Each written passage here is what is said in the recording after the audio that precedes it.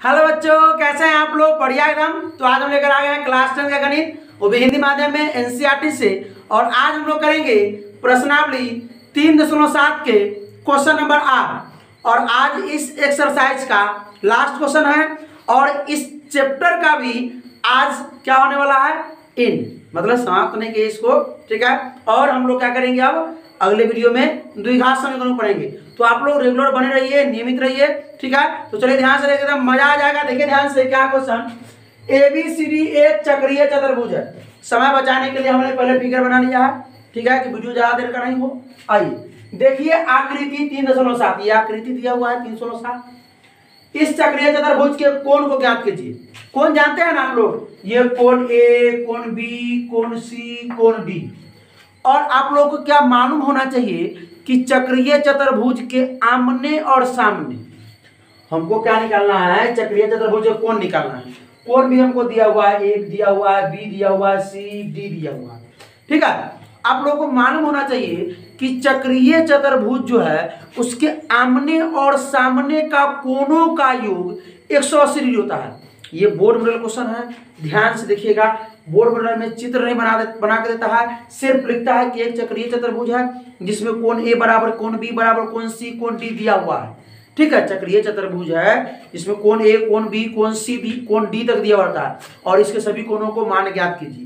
ठीक है इसी प्रकार ये दे देगा कोण ए बराबर चार वाई प्लस बीस कोण बी बराबर तीन। बहुत बार एग्ज़ाम में पूछा जा चुका है। ठीक है इसीलिए बोलते हैं कि आप स्किप नहीं कीजिए और पूरा ध्यान से देखिए इस वीडियो को। अब सुनिए हम क्या बताने जा रहे हैं। चक्रीय चतुर्भुज है। चक्रीय चतुर्भुज के आमने सामने के कोणों का योग 180 या बोलिए कि हम जानते हैं कि चक्रीय चतुर्भुज के सम्मुख कोणों का योग 180 डिग्री। सम्मुख मतलब आमने सामने हम और आप सम्मुख है। अभी आप हमको देख रहे हैं। हम आपको नहीं देख पाए, लेकिन हम और आप क्या है? सम्मुख है। ठीक है? तो ये किसको देख रहा है? देखिए सामने सामने ना आमने सामने ये क्या है? आमने सामने ना तो आमने सामने के कोणों का योग कितना डिग्री?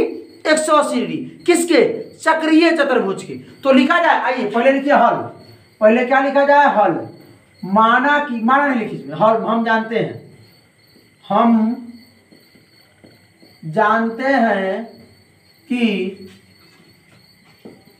चक्रीय चतुर्भुज चक्रीय चतुर्भुज के क्या लिखे? सम्मुख की आमने सामने। सम्मुख लिखते हैं, आप लोग लिख सकते हैं। सम्मुख लिख सकते हैं, आमने सामने भी लिख सकते हैं। सम्मुख कोणों का योग? कोणों का योग 180 डिग्री होता है। ये आप लोग जानेंगे। लिखा जाए प्रश्न से, फिर पुनः प्रश्न से। आइए प्रश्न से। प्रश्न से। कौन कौन होगा पहले किसको? ए का सम्मुख कौन होगा? सो बताइए। कौन ए का सम्मुख कौन होगा? कौन बी, कौन डी, कौन सी? कौन होगा? कौन ए के सम्मुख कौन कौन होगा? कौन सी? कौन ए का जो सम्मुख होगा, वो होगा कौन सी? फिर सुनिए। कौन ए का जो सम्मुख होगा, वो कौन सी? तो इस दोनों कोणों को हम जोड़ेंगे, योग निकालेंगे तो कितना होगा? 180 सुनिए ध्यान से। चलिए तो लिखा जाए कोण ए जोड़ कोण सी बराबर कोण सी बराबर 180 डिग्री? कोई दिक्कत? यहाँ तक के पचा? आइए मान बिठाते हैं। कोण ए कितना दिया हुआ है? चार वाई प्लस बीस। कोण सी दिया हुआ है कितना? माइनस चार एक्स तो प्लस माइनस डाटे, माइनस चार एक्स लिखा जाए? माइनस में चार एक्स बराबर में एक सौ अस्सी। कोई दिक्कत? यहाँ तक के कोई परेशानी? नहीं ना? पक्का समझ में आया? चलिए। और सुना जाए ध्यान से, इस 20 को हम इस तरफ़ भेज सकते हैं। इस 20 को हम इस तरफ़ भेज देते हैं। या सुनिए, पहले एक्स वाला को रखें आइए माइनस में चार एक्स बोर्ड हिल रहा। है अब प्लस में ही है चार वाई अब बराबर में एक सौ अस्सी, इधर प्लस भी धरा करके माइनस बीस। डिग्री में है, ठीक है? आइए देखिए ध्यान से। माइनस में चार एक्स प्लस में ही चार वाई अब बराबर में क्या हो जाएगा? 120 में से, एक सौ अस्सी में से 20 कटेगा। 160 डिग्री। डिग्री छोड़ दीजिए। ठीक है। क्या आप लोगों को कुछ दिख रहा है? क्या दिख रहा है? कुछ इसके आगे कर सकते हैं? कर सकते हैं। क्या कर सकते हैं? चार कॉमन ले सकते हैं। चार से दोनों भाग लग जाएगा, इधरों चार से भाग लग जाएगा। ले ले कॉमन आइए। माइनस चार लेके चार ले। माइनस चार कॉमन लेते हैं। माइनस लेंगे तो इधर माइनस हो जाएगा। क्या? ले ले। आइए। या आप चार भी ले सकते हैं, कोई दिक्कत नहीं है। ठीक है। चलिए, चार ले लेते हैं कॉमन आप माइनस चार भी ले लीजिएगा, कोई दिक्कत नहीं है। चार से चार माइनस रह जाएगा। चार से चार खत्म, बचेगा एक्स तो एक्स आ गया। चार से भाग देना, है? ठीक है? और ये प्लस चार से चार खत्म, बचेगा वाई अब बराबर एक सौ साठ। आप लोगों के मन में होगा कि माइनसो कॉमन ले लें। माइनस कॉमन लेकर ये प्लस ही माइनस हो जाएगा। क्या दिक्कत? क्या कहते हैं? ले लिया जाए, चलिए। माइनस ले लेते हैं तो ये हो जाएगा प्लस और ये हो जाएगा आपका माइनस क्योंकि माइनस माइनस ही खत्म हो जाएगा। ये माइनस प्लस माइनस हो जाएगा। अभी माइनस चार अगर गुना में रहा भाग में क्योंकि यहाँ गुना कर रहा है ना तो एक्स माइनस वाई बराबर एक सौ साठ गुना में धरा का भाग में माइनस चार तो एक्स माइनस वाई बराबर कितना हो जाएगा? माइनस में चालीस। समीकरण हो गया एक। कोई दिक्कत? आइए। पुनः प्रश्न से क्या लेंगे? पुनः प्रश्न से।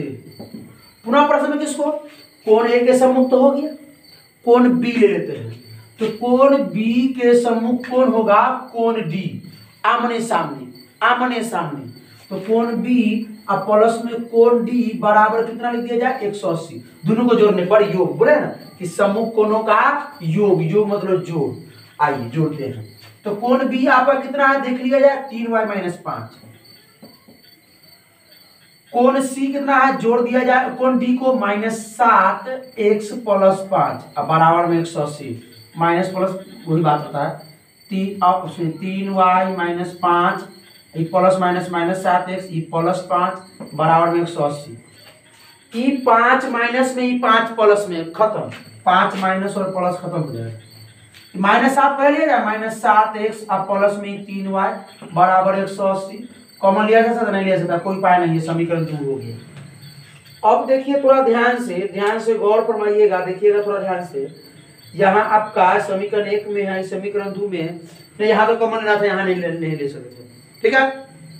यहाँ एक्स है, यहाँ है सात एक्स हम लोग बिलो पर विधि से हल करते हैं। एक्स वाई मान निकाल लेते हैं, बिलो पर विधि से हल करते हैं। करें? आइए तो लिखते हैं, बिलो पर विधि से हल करने पर। विलोपन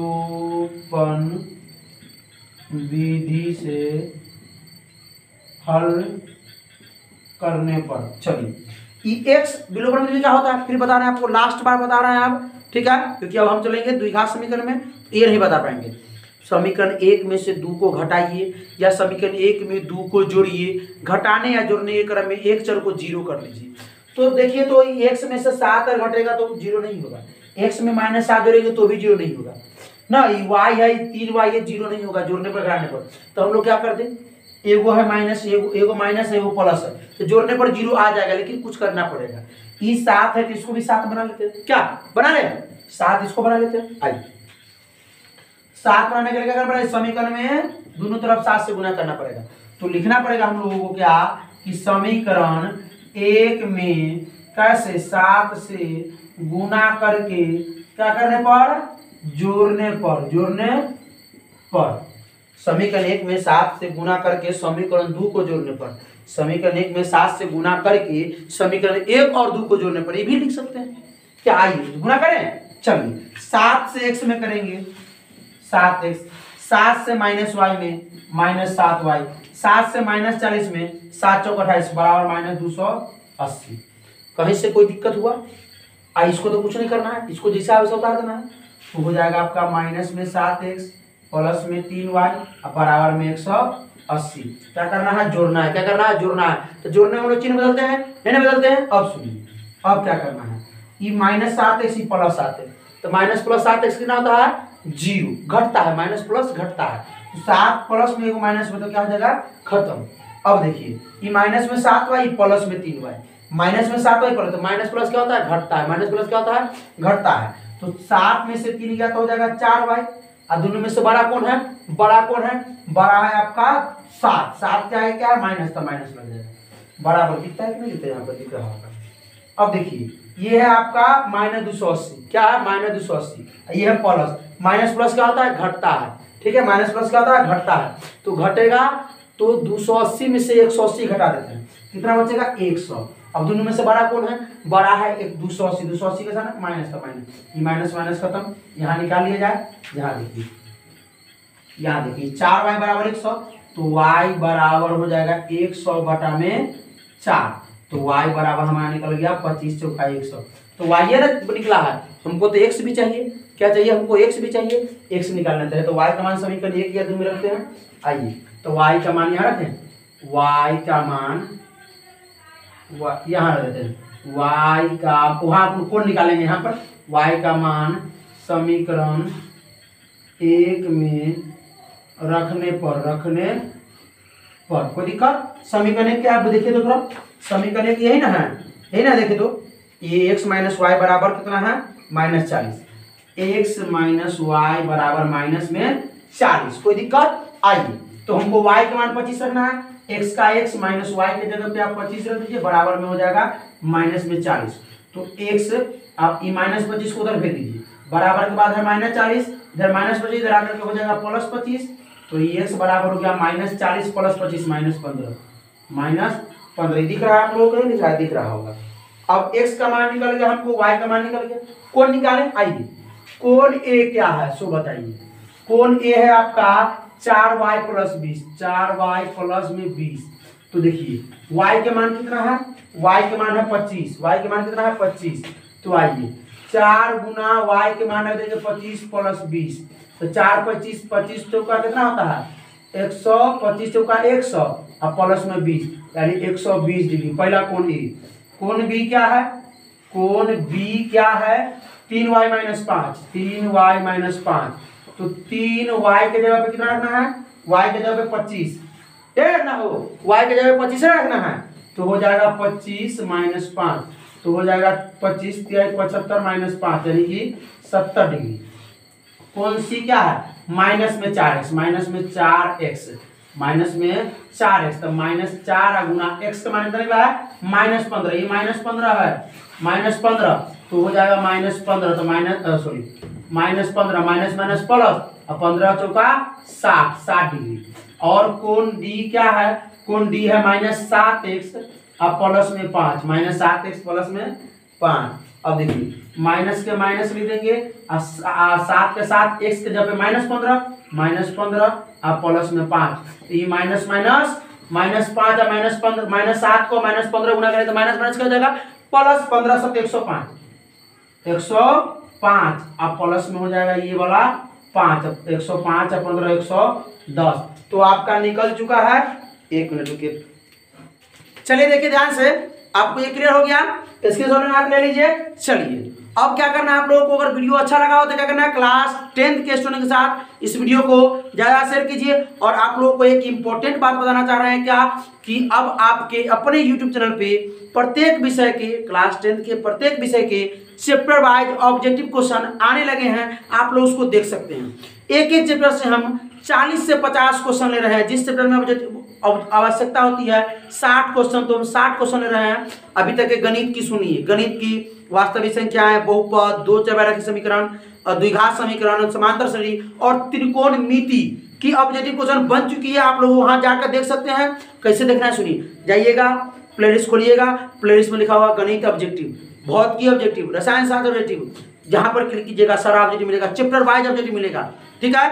और संस्कृत ऑब्जेक्टिव हिंदी ऑब्जेक्टिव इतिहास ऑब्जेक्टिव ये सब ऑब्जेक्टिव बन चुका है। आप लोग चैप्टर वाइज सब देख सकते हैं, समझे? तीन तीन, चार चैप्टर का अभी तक बन चुका है। बच्चा वो नर्वस होता है अंतिम में जाकर के, जिसके पास नोट्स नहीं रहते हैं, जो शुरू से तैयारी नहीं करते, अंतिम में आएगा गाइड खरीद लेंगे तैयारी करेंगे। हम आपको वादा करते हैं आप लोगों से कि गाइड खरीदने की आवश्यकता नहीं होगी। पूरा हम आपको सिलेबस खत्म करवाएँगे। अभी अगस्त है, आज है सत्रह अगस्त, ठीक है? अभी अगस्त है, नवंबर तक के हम चैप्टर वाइज पूरा ऑब्जेक्टिव खत्म करेंगे आप लोगों का।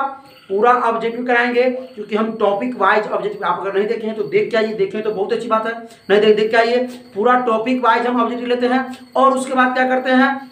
जितने प्रीवियस ईयर, गत साल, पिछले वर्ष, जितने क्वेश्चन पूछे गए हैं, एक दो वर्ष नहीं, पिछले पाँच वर्षों में, दस वर्षों में जितने क्वेश्चन पूछे गए, सभी को हम लोग मिला कर लेते हैं। और एक चैप्टर से इसलिए बोले कि चालीस से पचास क्वेश्चन रहते हैं एक चैप्टर में। ठीक है? उससे बाहर नहीं आ सकता है बिहार बोर्ड में। ठीक है?